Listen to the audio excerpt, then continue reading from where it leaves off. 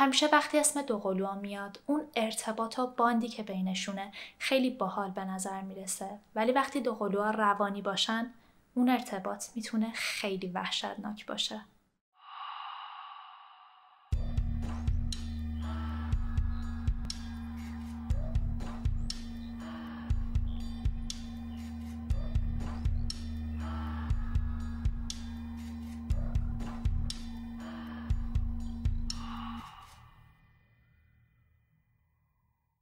سلام فرشته های من به یه ویدیوی دیگه خوش اومدید. امروز قراره یه پرونده دیگر رو با هم بررسی کنیم که به پرونده دوقلوهای قاتل معروفه. من معمولا از بچگی خود قاتل شروع می‌کنم تا بزرگسالیش و اتفاقایی که افتاده. ولی برای اینکه این کیس رو بهتر درک کنید بعد برم عقبتر اول بچگی مامانشون رو براتون تعریف کنم. همه چی اگه زندان زنان توی ایالت جورجیای آمریکا شروع شد. یکی از زندانیا که به جرم همراه داشتن مواد مخدر و دزدی مسلحانه زندانی بود، تو اپریل سال 1975 تو زندان یه دختر به دنیا میاره. اسمشو می‌ذاره جارمکا وایت هد که بعدا نیکی صداش می‌کنن. خب بچه که قاعدتا نمی‌تونه تو زندان بزرگ شه به محض تولد میگیرنش میدنش به مادر بزرگش دلا که اون بزرگش کنه سالهای اول همه چی خیلی خوب بود. با هم دیگه رابطه خیلی صمیمی داشتن زندگی خیلی خوبی داشتن همه چی اوکی بود. فقط یه مشکل وجود داشت. دلا هیچ حد و مرزی برای این بچه نمیذاشت. نیکه اجازه داشت هر وقت دلش می‌خواد بره بیاد با هر کی بگرده هر جا دلش می‌خواد بره بیاد. همینم باعث شد تو سن نوجوانی با یه سری دوستا و آدمای اشتباه خاطی بشه. بره دنبال پارتی کردن و مصرف مواد مخدر و از اینجور کارا. تو سن 17 سالگی ناخواسته از یه مرد متحل جامایکایی باردار میشه. قضیه بارداریشو به مرده میگه. مرده بهش میگه اصلا از کجا معلوم بچه بچه من باشه؟ تو می‌خوای بندازش، می‌خوای نگهش دار، به من ربطی نداره.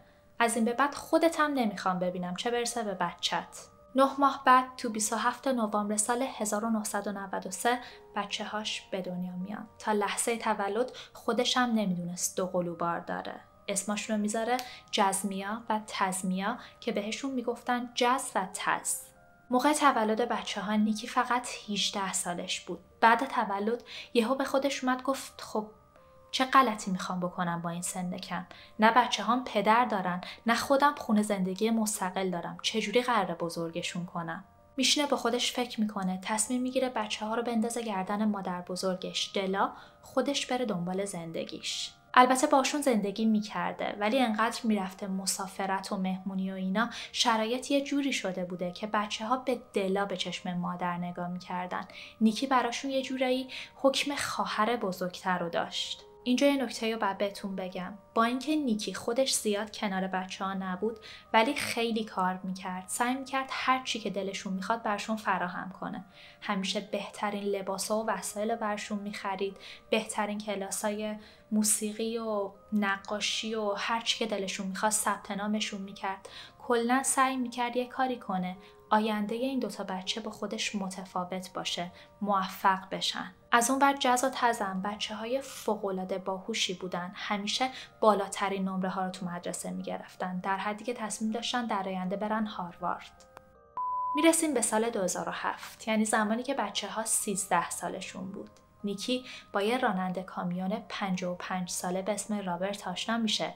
تصمیم می‌گیره با بچه ها بره با اون زندگی کنه. به نظرش خیلی موقعیت خوبی بود که بعد از این همه سال از خونه مادر بزرگش بره بیرون یه زندگی مستقل داشته باشه. از این نقطه به بعد همه چیز عوض میشه. چرا؟ چون بچه ها وارد دبیرستان میشن.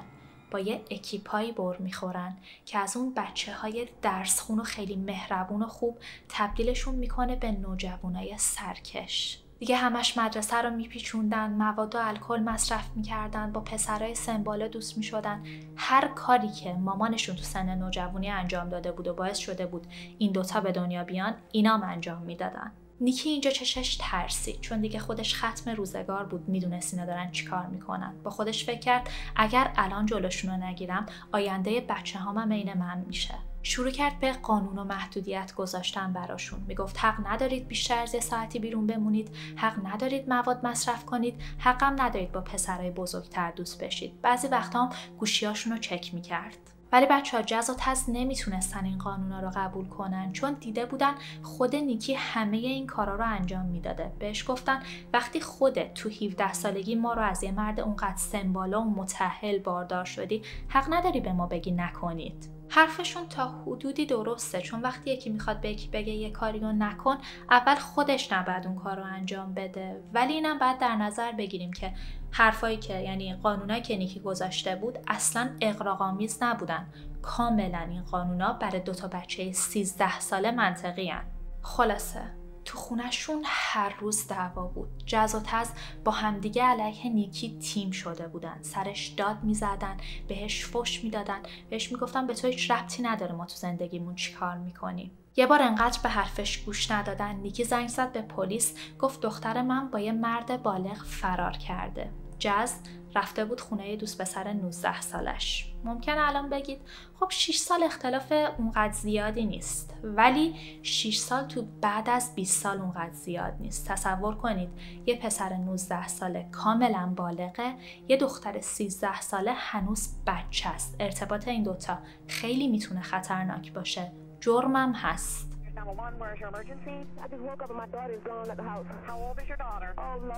پلیس میره جز و برمیگردونه خونه. حالا این بار نیکی می‌فهمه. تز روزا به بهونه مدرسه میره بیرون ولی به جای مدرسه میره خونه دوست پسر 17 سالش. خیلی عصبانی میشه. میره خونه پسره به زور تزا از اونجا میاره بیرون سوار ماشین می‌کنه.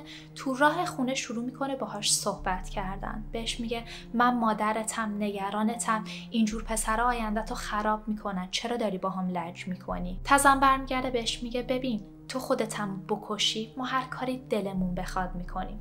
الانم می‌خوای بهت ثابت کنم هیچ کنترلی رو زندگی ما نداری؟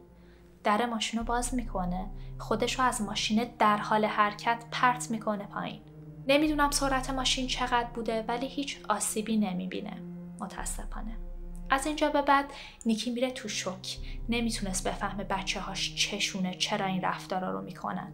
تنها توضیح که به ذهنش رسید بیچاره این بود که بچه هاش جن زده شدن. می‌رفت پیش کشیش های مختلف ازشون می‌خواست بچه هاشو جنگیری کنن. اونا بهش می‌گفتن خانم با برو پی کارت اینا فقط به شدت بیتربیتن. جنی در کار نیست. خلاصه چند ماه همینطوری میگذره. کم کم این دعواهای لفظی تبدیل میشه به دعواهای فیزیکی. جز و تز با همدیگه تیم می‌شدن. حمله می‌کردن به مامانشون کتکش می‌زدن. مامانشون رو کتک می‌زدن. الان احتمالا براتون سوال شده که چرا رابرت جلوشون رو نمی‌گرفت؟ چون رابرت راننده کامیون بود اکثرا خارج شهر بود. این ستا با همدیگه تنها بودن.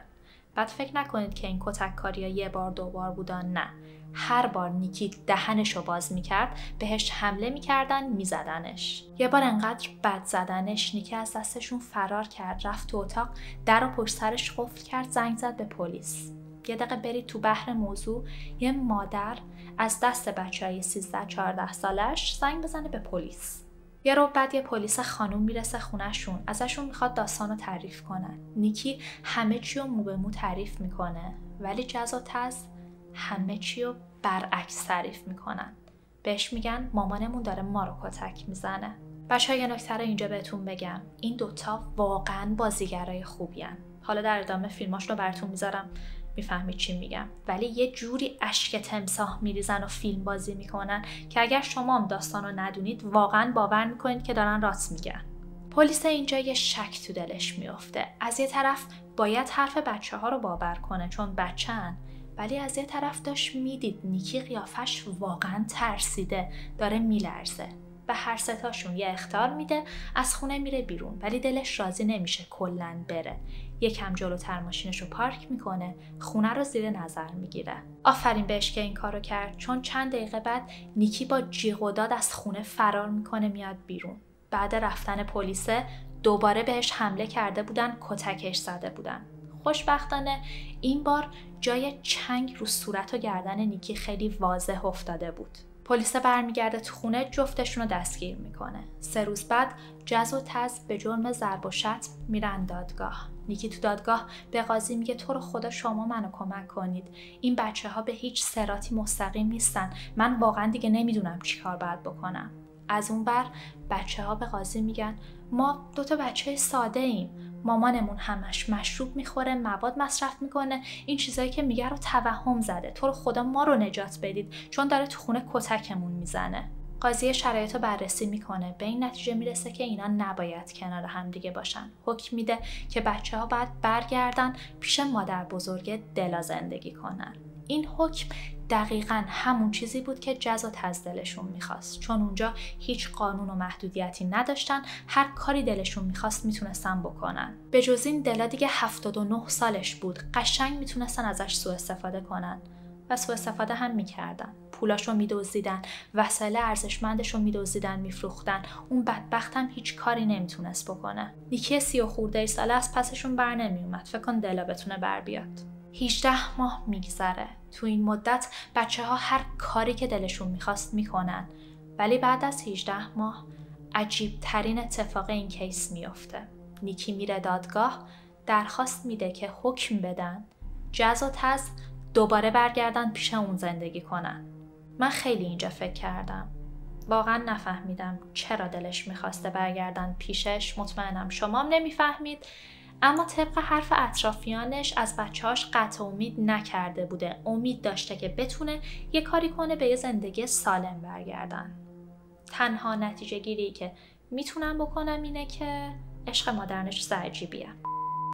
متاسفانه دادگاه درخواست نیکی رو قبول می‌کنه. حکم میده که باید برگردن پیش نیکی.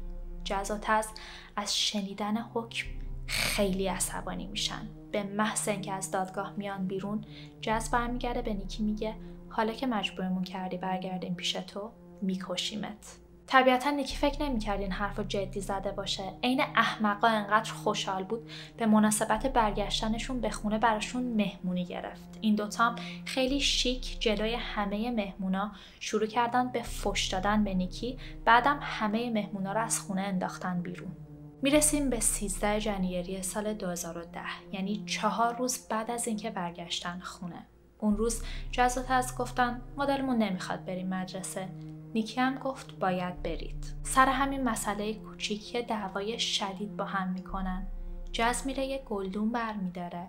از پشت سر می‌زنه تو سر نیکی. نیکی هم در حالی که از سرش داشت خون میریخت باش درگیر میشه. تز از فرصت استفاده می‌کنه میره از تو آشپزخونه یه چاقو برمیداره می‌زنه تو بازوش. به کتککاری عادت داشت ولی اینکه با چاقو بزننش شوکش می‌کنه. سریع از خونه فرار می‌کنه با جیغ و داد میره خونه همسایشون شروع می‌کنه به در زدن ولی متاسفانه کسی در رو براش باز نمی‌کنه. بچه ها میرن دنبالش ازش عذرخواهی می‌کنن رازیش می‌کنن باشون برگرده خونه نیکی هم خر میشه برمیگرده. به محض اینکه پاشونو می‌ذارن تو خونه در پشت سرشون قفل می‌کنن. دوباره بهش حمله می‌کنن. یکیشون رو زمین نگهش میداره اون یکی با چاقو میزنتش. بعدم جاشون رو با هم عوض می‌کنن. به دستاش گردنش سرش صورتش شکمش به همه جاش چاقو می‌زنن. هشتاد بار مامانشون رو با چاقو می‌زنن. نمی‌دونم چجوری ولی بعد از 80 ضربه چاقو نیکه هنوز زنده بود داشت به بچه هاش التماس می‌کرد. ولی جزوتز به هیچ عنوان نمی‌خواستن بذارن مامانشون زنده بمونه. کشون کشون میبرنش تو هموم میندازنش تو وان پر از آب. نیکی هم که جون نداشت خودشو بالا نگه داره سر می‌خوره میره زیر آب. به همین سادگی نیکی وایت هد جونش رو از دست میده. تو این نقطه فقط یه چیزی تو فکر بچه ها بود. اونم این که چطوری از زیر مجازات این کار در برن. شروع می‌کنن به تمیز کردن خونه ولی می‌بینن مقدار خون ریخته شده انقدر زیاده که تمیز نمیشه. به جاش پا میشن همه اثر انگشتاشون رو پاک می‌کنن. بعدم لباس مدرسه میپوشن میرن مدرسه که به پلیس بگن زمان اتفاق افتادن قتل ما مدرسه بودیم. از پرونده هایی که توش قاتلا باهوشن متنفرم. فکر کنید تو مدرسه هم یه جوری رفتار می‌کنن که انگار نه انگار همین الان مامانشون کشتن. واقعا نمی‌فهمم این نفرتشون از کجا اومده. می‌دونم از نیکی بدشون میومد ولی اینکه اینطوری بخوان بکشنش یه نفرت خاص می‌خواد. اینو نمی‌فهمم از کجا اومده. چون اونقدرم مادر بدی نبود. خلاصه. از مدرسه برمیگردن خونه از پشت پنجره منتظر این ماشینای گشت پلیس میشن. وقتی می‌بینن یکیشون داره میاد با جیغ و داد از خونه میدوئن بیرون جلوی ماشین رو می‌گیرن. میگن تو رو خدا کمکمون کنید. یکی به مامانمون حمله کرده. پلیس دنبالشون میره تو خونه با یه صحنه قتل وحشتناک روبرو میشه. میگن انقدر همه جا خونی بوده که پاتو میذاشی تو خونه بوی خون رو حس می‌کردی. سری قتل و گزارش میده جزا تزم با خودش می‌بره اداره پلیس. از همون اول پلیسا می‌دونستن هر کی که کشتتش باهاش مشکل شخصی داشته. اینطوری نبوده که یه قاتل رندوم از بیرون بیاد بکشتش. از کجا می‌دونستن؟ از اینکه 80 بار ضربه زده بودن. یه قاتل عادی کسی که باش مشکل نداشته با دو سه تا ضربه چاقو هم می‌تونسته بکشه. نیاز نبوده 80 بار بزنه. شروع کردن به بازجویی کردن از بچه ها فیلم بازی کردنشون رو ببینید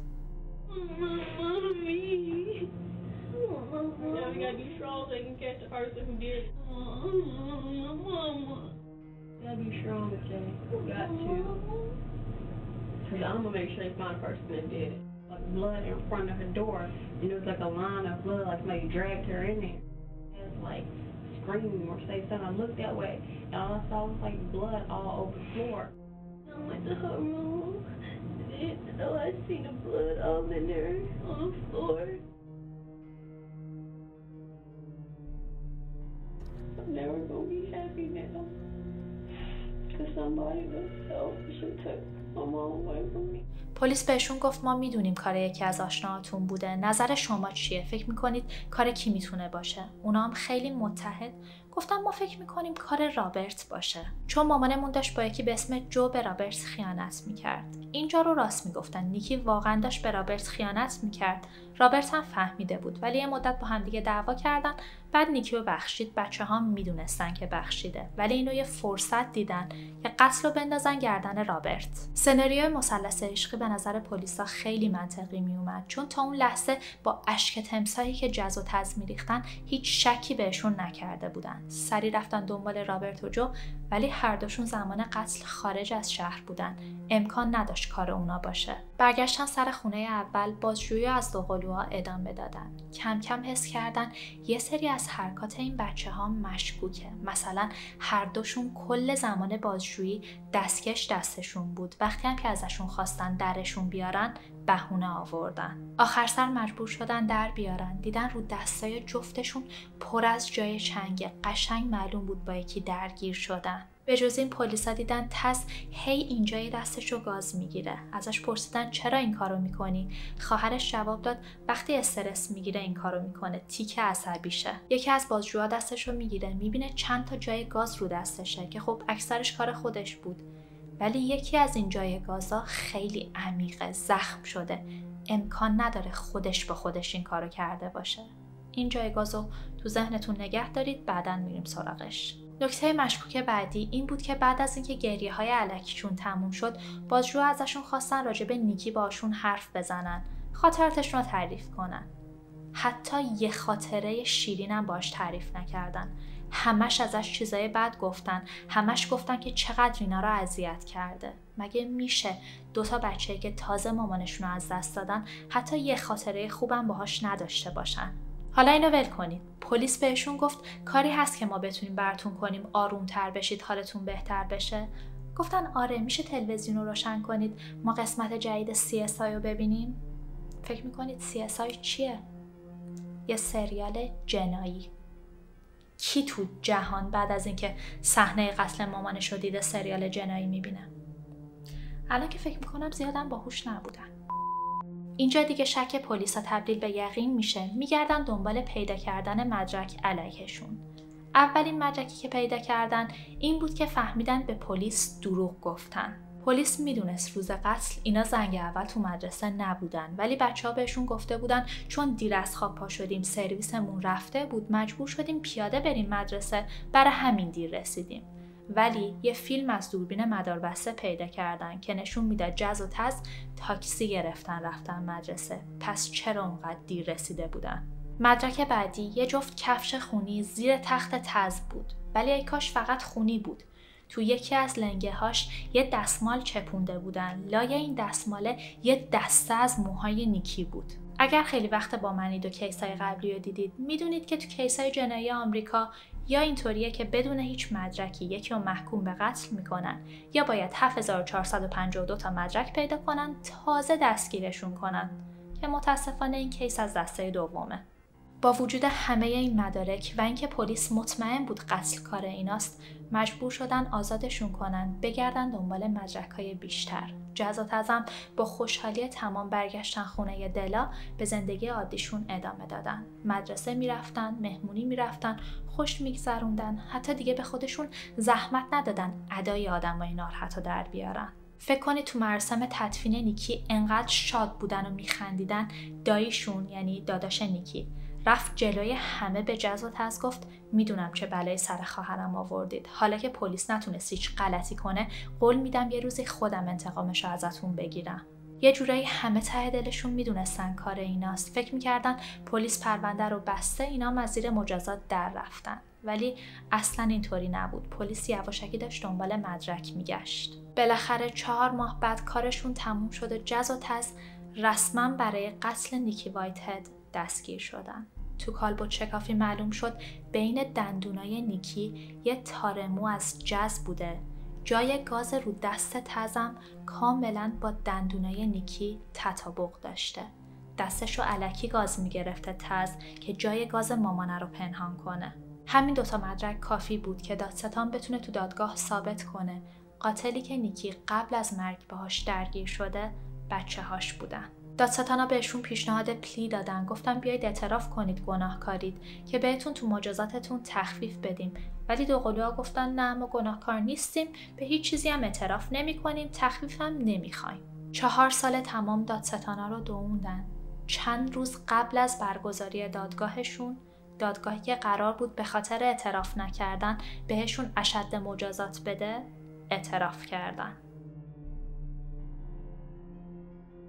تو جنیری سال 2014 جزمیا و تزمیا وایتد به سی سال حبس تو زندانای جدا از هم محکوم شدن و تا 47 سالگی تو زندان میمونن. جز داره تو زندان درس می‌خونه و توی مصاحبه گفته امید داره وقتی آزاد شد بتونه یه زندگی نرمال داشته باشه ولی از تز خبری نداریم چون دوست نداره با رسانه ها مصاحبه کنه.